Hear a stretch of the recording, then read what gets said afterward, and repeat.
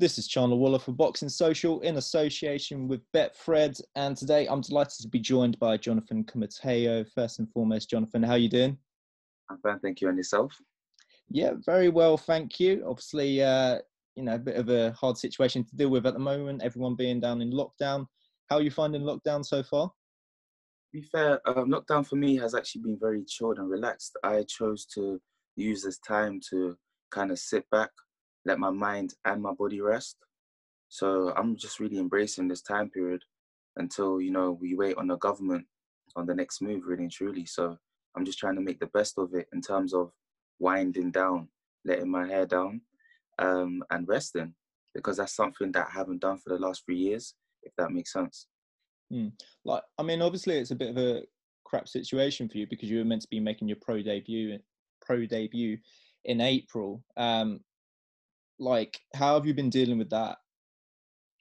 Well, initially, um, it's crazy actually because I was excited for quite some time, and I hadn't, and I still haven't put it out yet.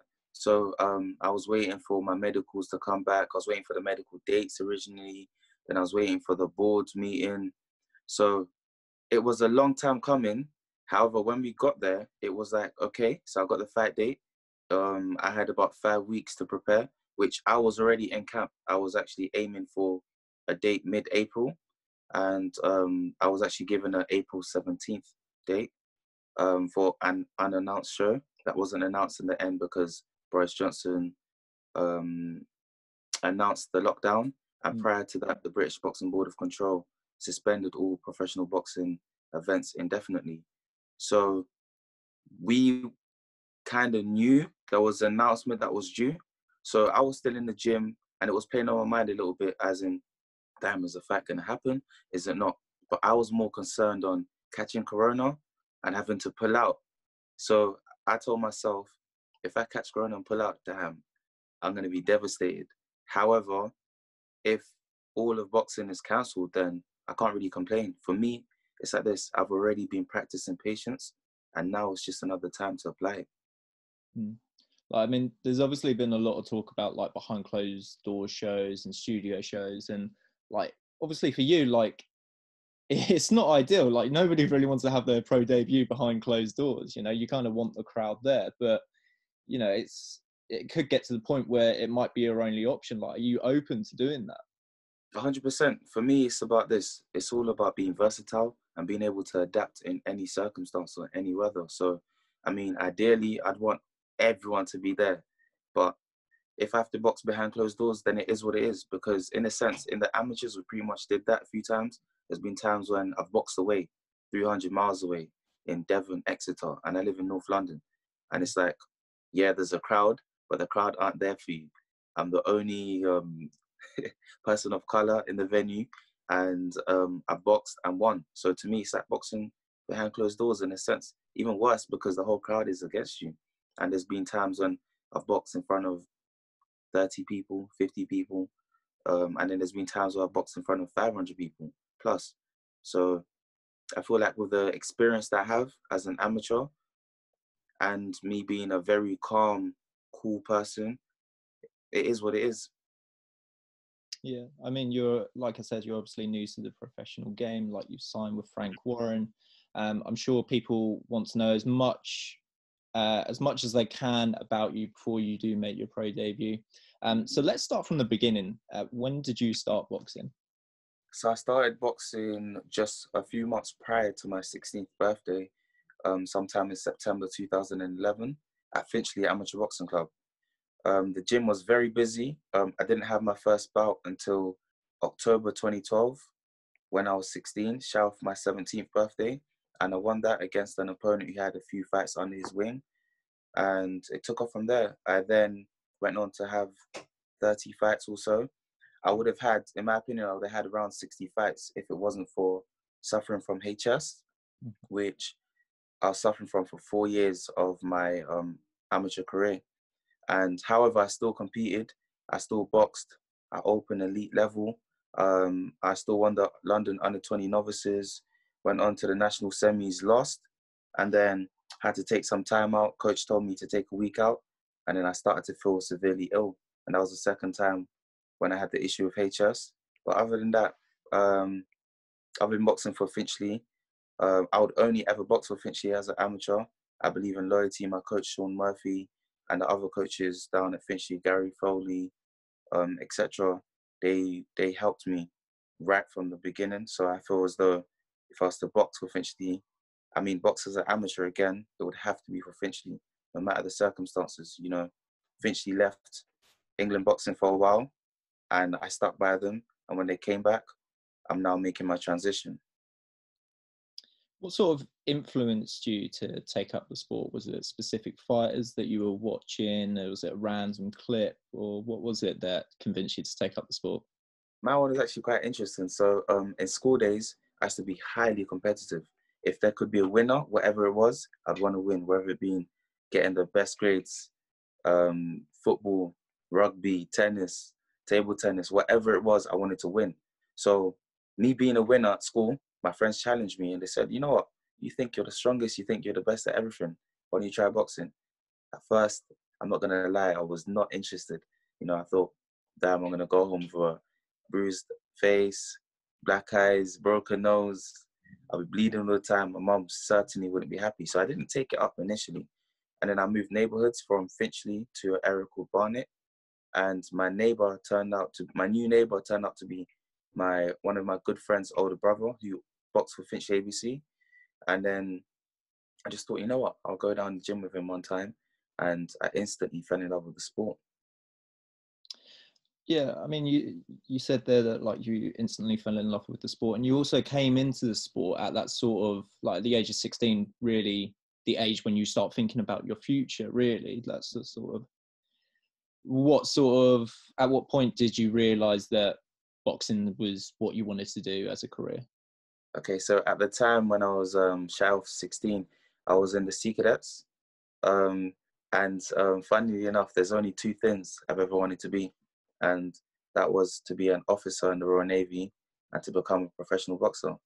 And funnily enough, as well, I didn't know that you could actually be a boxer in the Navy. So, um, and get paid. so maybe I should have gone that route, but I'm playing. Um, for me, I realized, I think when I was about 18, I said, this is what I want. This is exactly what I want. I want to become a professional boxer. And um, once COVID is out of the way, that's exactly what's going to happen. Hmm. And you, like you've already mentioned, you you had that bit of a stump in your amateur career um, where you battled with HS. Uh, I was just wondering if you could start off like just by telling me and the viewers who are tuning in, um, who maybe don't know what HS is and how it affected you. Yep. So HS, skin condition, um, it's pretty much an autoimmune um, skin disease because what happens is your body is attacking itself. It only affects 0.4 of the world population, and what it basically does is attack your sweat glands. So um, your sweat glands which could be located on the underarms per se and other areas. And what happens is it clogs up the sweat glands and creates uh, repeated abscesses. So you get an abscess, then it might go down and it might um, swell up again. And then it become it can become so big that you have to have an incision to get it removed. So that's what happened to me on my first two operations. It first started on my right underarm it wasn't painful at first. I went to see my GP. She gave me medication and it started double in size every day. This was around, I believe, 2015. Um, and then 2014, actually. And then it became so big that it was painful for me to put my arm down. So I was always just chilling like this. And then, you know, me being an alpha male, I didn't want to go to the hospital. Eventually, I was forced to go to the hospital. They told me I had to spend the night there to have an operation. That was so painful. Um, I remember waking up and I was in so much pain. However, I recovered reasonably quick within six weeks. At the time, I was still studying my A levels at um, sixth form college. Um, recovered reasonably quick. I was back in the gym within six weeks, but my skin, my under the skin on my underarm didn't quite close. So every now and then I could be in the shower or something, and the skin would just tear open. I could be sleeping, wake up, and my top, there's loads of blood on my top. Fast forward to 2016, uh, which is about a year and a bit later, I still wasn't diagnosed with HS. So they were giving me different types of medication. They just thought I kept on getting repeated abscesses. And this time it spread to my other underarm. And that for me was crazy because I was actually training for the under 20 novices at the time. And those days when I couldn't get out of bed, I'll just forced myself to. And then, you know, when the adrenaline kicks in, it's like the pain is masked, if that makes sense. Mm-hmm. And then I'll train, train, train. Won the London under 20s, got to the national semis, lost. But coming towards the, um, in preparation for the championships, there was times when my underarms would really swell up and they would bleed a lot. But I'll just put dressings on. I'll literally wear huge dressings about the size of my hand. And I'll just put it on and still train all them all the time because there'll be times where literally I'd wake up in a pool of blood. It was that severe. Um, lost in the national semis, took a week out, and I started to feel weak. So I feel as though it got reinfected because the skin would always open, if that makes sense. Mm-hmm. And then um, come New Year's Eve, I couldn't I couldn't get out of bed. It was it was almost heartbreaking because I went from prior eight weeks to winning the London under 20s to I can't get out of bed.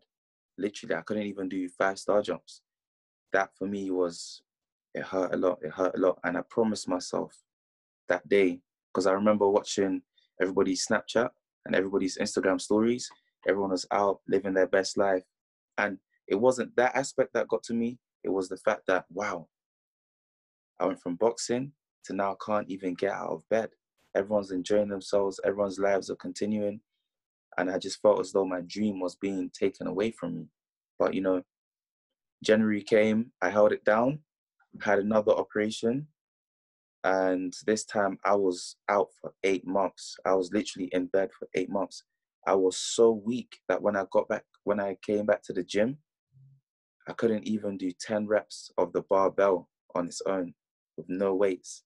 I literally had to start using the the dumbbells at four kilos. You know the top ones that mm. the some females use when they go to the gym.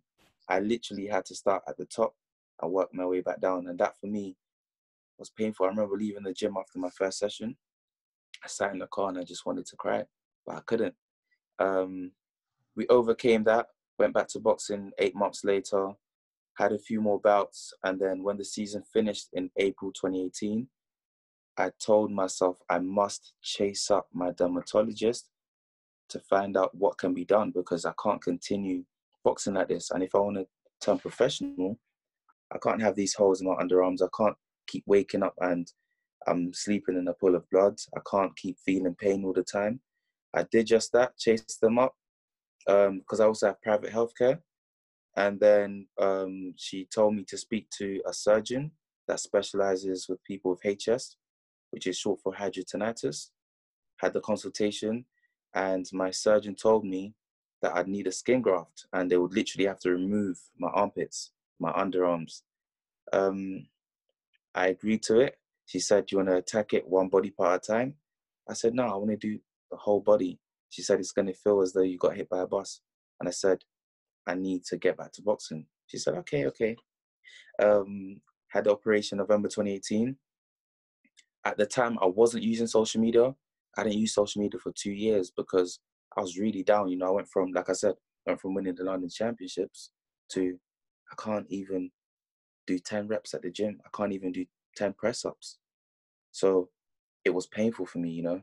It was difficult for me to accept. So when I had the operation though, I, I saw the videos and I said, you know what, I must put this out there because there must be other people going through what I'm going through. And I did just that, and it went viral. People from all over the world were messaging me um, Olympic athletes, celebrities, big company CEOs, other boxers, and it was I, I received a lot of love, a lot of love from all over the world. And what was also heartbreaking was to to see people from several countries message me about it. I remember a girl from Iran actually messaged me about it. She said that she was suffering from the same skin condition, but she couldn't consult a doctor or speak to her father about it because it affected her in um, her private area too, in which HS can. And she said that in her country, they would deem her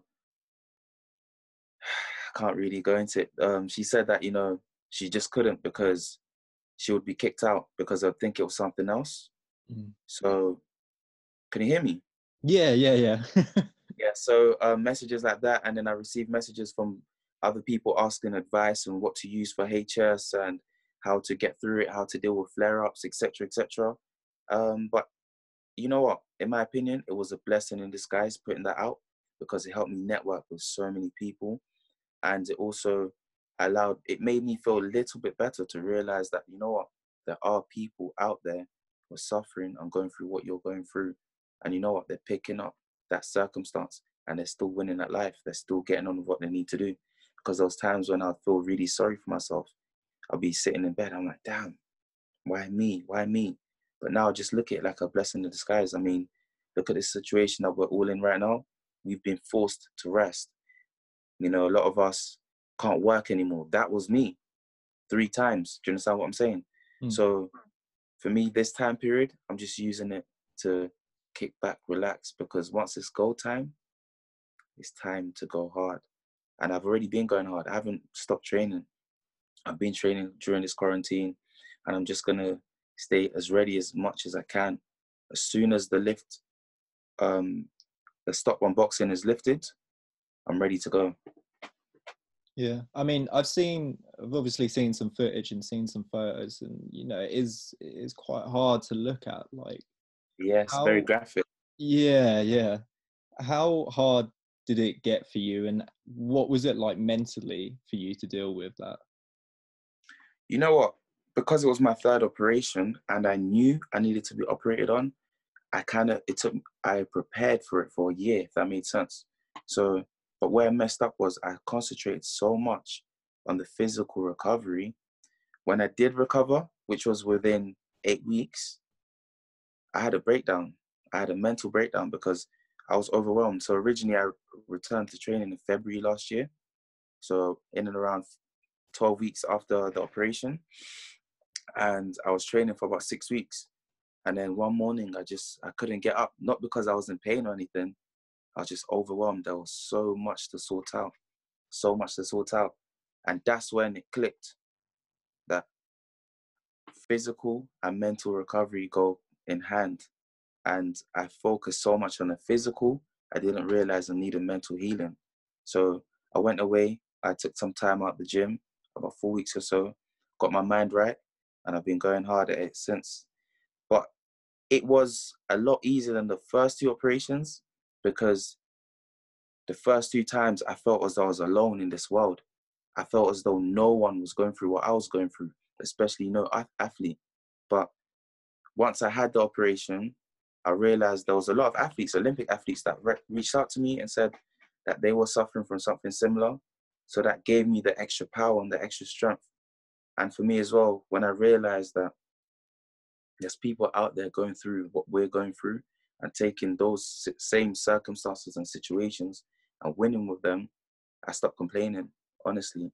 And I also realized, you know, having been around some of the best athletes the UK has to offer, I realized that those who visualize right through to the end usually make it there. So for me, that was calming. I just told myself, you know, use this time to rest.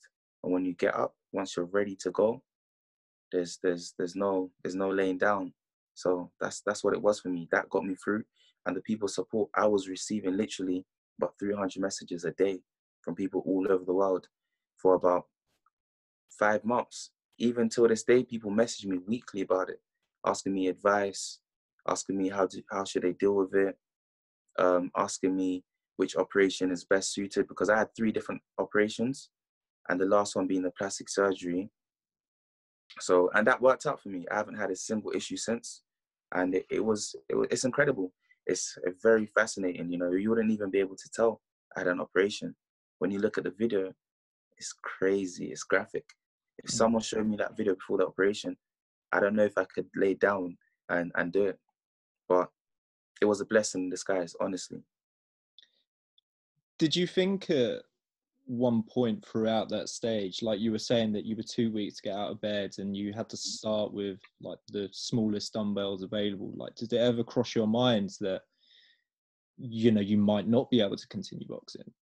Yeah, several times. I mean, I've had doctors tell me I wouldn't be able to box because the medication I was on, and by the way, I boxed four years on heavy medication, literally um, eight to 16 um, tablets a day um, or some strong antibiotics.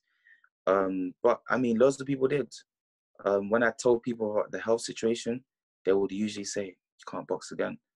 My doctors, my GP, they said, "Like, why boxing? You know, this is a very um, tough situation that you're in. There's no cure for it. The operation in itself, which I had, the plastic surgery, is only 50 50. Um, but shout out to Barbara Jemick and her team at the hospital. They they did a fantastic job. Everything worked out great. I haven't had a single issue since, and I've been feeling incredible in the gym. But when people said to me I wouldn't be able to box again, it hurt. But there was time when I said, I'm not gonna accept this. I am not gonna accept this. I'm gonna overcome the circumstance. But you know what? It takes a lot it takes a lot to get to that stage. There was times when I would just be laying in bed upset, like wanting to cry, but I couldn't cry, if that makes sense. But you know, my my doctor, the surgeon, Barbara Jemick, and her team, they gave me hope because when I had my consultation, we were laughing and joking, and um, she said, you know, it can work out, it might not, but if it does, then you're in a great place to to go back and kickstart your pro boxing career because that's the reason why I had the operation. I didn't have to have the operation. So um, I had other options. I could take a, a jab to my stomach weekly, or I could take um, which is like a, a strong medication that dries out your skin completely. And that would hopefully stop the my sweat glands being blocked but those two medications would mean I wouldn't be able to box at all because it messes up with your mental. And my GP and my doctors told me that if I train, I would be aching for a prolonged period of time. So the only option I had for boxing was to have a skin graft, which they had to take skin from my bottom, mm-hmm. a huge amount of skin, remove my underarms and my sweat glands, and replace that skin 50 50 operation, but here I am making my pro debut as soon as COVID 19 is over. Yeah. All behind closed doors. Yeah, it's amazing. And you're you're definitely a much stronger man than than uh, than I am for not crying. But I suppose that's why you're the, the boxer. Honestly, honestly, you know what? Honestly, there was times when I wanted to cry, I just couldn't. I just couldn't. It was like nothing's happening. yeah. Did it did it affect your career like in terms of like fighting weight because of just I don't know if you would have gained weight or lost weight or like did you have to change weight classes when you came back? Uh yeah, so after my second operation, um initially I wasn't allowed to box, so I pumped a lot of weights. I was in the gym doing everything and I went to a 24 hour gym, so I'd wake up 3 a.m., go to the gym whilst no one's there, train for three hours. So I jumped up from 69 kilos to 76 and I have a very low fat body percentage. So initially I had to box around 75 kg for my first few bouts back. But it took me about 10 months to lose the weight because it was there was no fat. I had to lose muscle and that was difficult. But because I was on heavy medication, it like sped up my um metabolism, if that made sense. Mm-hmm. So when I didn't train, I'd always lose a lot of weight and that's kind of my circumstance now. I feel like I don't take medication anymore, but when I don't train, I lose weight. It's like I don't I don't binge eat, and I don't really eat too much. I have a relatively um, healthy diet. I eat a lot of home cooked food. I don't really eat fried food. I don't eat takeaway. I've never been drunk in my life, so I stay in and around my fat weight. To be fair, right now I'm around 72 kilos. Um, I'm probably gonna campaign at welterweight, but I don't need to make the welterweight limit until it's a title fight, right? Hmm. So I can easily make 69, 68 even. Yeah, um, just to uh, just to say really like I'm just glad to hear that like it's all it's all sorted now and that you've made a full recovery and uh, yeah just you know thank you for being so open about it. Yeah, I mean it, you know it's a crazy situation but it opened so many gates for me. Honestly, I mean, a lot of people also reached out to me to say, you know, I inspired them and that I should take up public speaking. And at first, I was like, I don't want to do that. But then once I got back on my feet and I wasn't able to go so hard on the training, I got in touch with a few schools um, to a point where I went to over 20 schools all over the UK, junior schools, high um, secondary schools, sixth form, colleges, private schools, all type of special educational needs schools. And I spent time with over 10,000 students. And that in itself was very motivating. And every school was different. I went to schools as far as York, Birmingham, schools in and around London, Essex, Reading, um, Nottingham, many, many areas. And all the schools are different, all the kids were different. But it was fantastic. Honestly, it was one of the best experiences I had.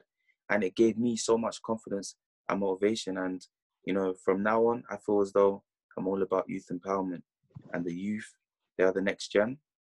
So when I take off in boxing, I want to make sure that I stay in touch with the youth. I want to make sure that I still go into schools and and spend time with the kids, um, take them for boxing workshops, in order in in hope to inspire them through my story, and to um, kind of insert some type of growth mindset in them because some kids, you know, they're used to seeing the the same visitors that will come in and say you need to get the best grades and this that, etc. etc. But I came in with a different angle, and also I'm still young.